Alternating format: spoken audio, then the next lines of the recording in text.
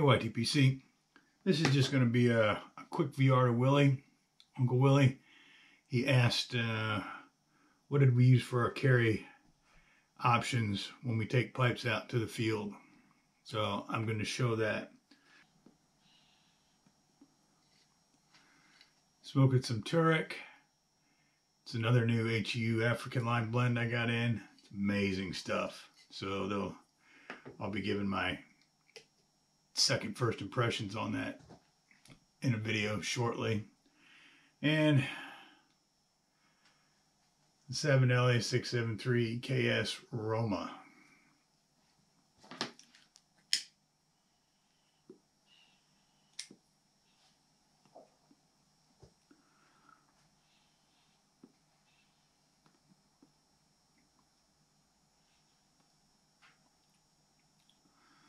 So without further ado, I'm going to switch over to the shop cam and give you some close-ups of the two pipe pouches. Okay, here are my two EDC or carry pouches for pipes. Now, first one I got, and I did a dedicated video on it, is this Whitlux waxed canvas pouch, which is really nice and perfect for an overnight, like if you go into a hotel or something. It can hold to up to two pipes. I usually just take one pipe for a short trip, pipe cleaner, tamper tool. It does have a unlined pouch where you can put a sandwich baggie with some tobacco in there or keep this separate. You can't really roll this into it. And I know Willie said he didn't, he was worried about his pipes falling out. Well, this particular model does come with snaps, so you shouldn't have to worry about losing that. Now, of course, your tamper. But once you roll it up, this thing stays pretty secure. But I can see where you'd have a concern that maybe something would fall out. But with one pipe, I think with two pipes it'd be a stretch. Holds it nice. No, nothing really falls out too much.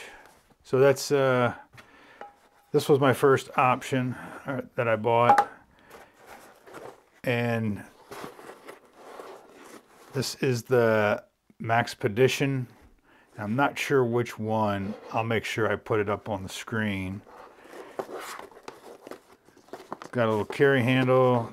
It's got three rows of webbing there.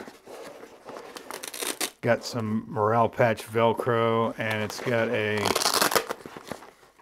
Velcro mesh baggie on the front.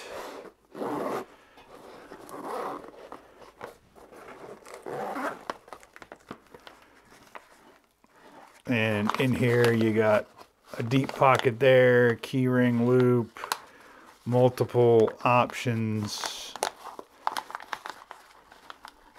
of elastic bands there holds three pipes very nicely. Again, there's another pocket back here.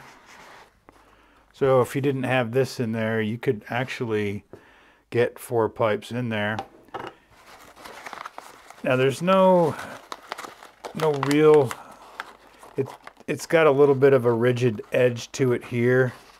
So it does keep it from collapsing in, but there's no impact protection. So just just be aware of that. There's a little bit on the back side, but not.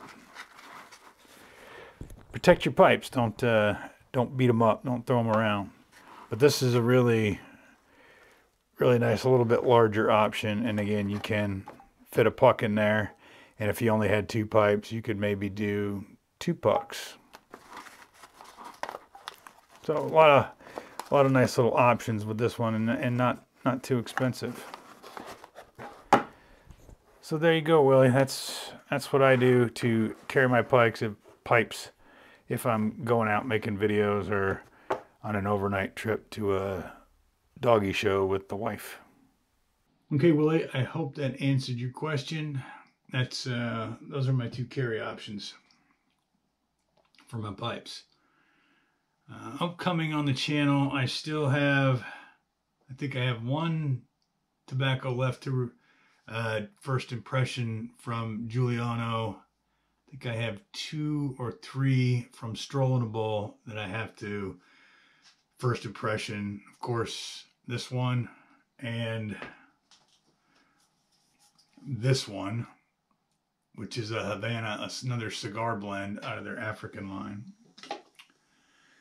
Also coming up, I'm started to do some blending with some English tobacco and then throwing in some cigar leaf. So I'm messing around with different uh, different blends right now. I think I've got one that's pretty good. I've got it in the mini press now and I'm going to see how it comes out. And if it comes out as good in the press as it does just mixed in the bowl, then I'll be making bigger batches of that.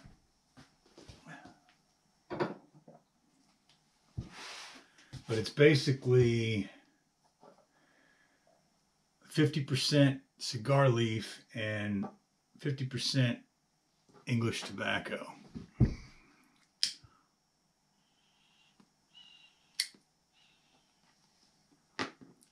By English, I just mean uh, already commercially available English that's uh, that I would consider a middle of the road English. So you get you get the English components, and then the other half is cigar leaf. And the mix that I did in the jar came out great. Also, I'm making some pretty decent progress on my Dr. Grabow pipe rack. Throw that little short snippet of that. So that video it will be coming as soon as I finish.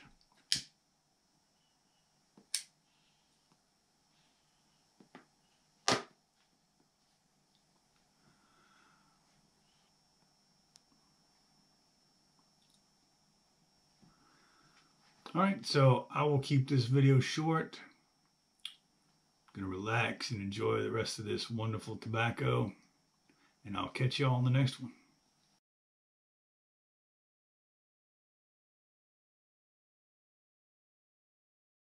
And I'm going to tell you something right now. There's one guarantee in life, and that there are no guarantees, yeah. And uh, mm-hmm. understand this. yeah. Nobody likes a quitter. Nobody said life was easy, so if you get knocked down, take the standing eight count, get back up, and fight again. And you're a macho maniac. Dig it.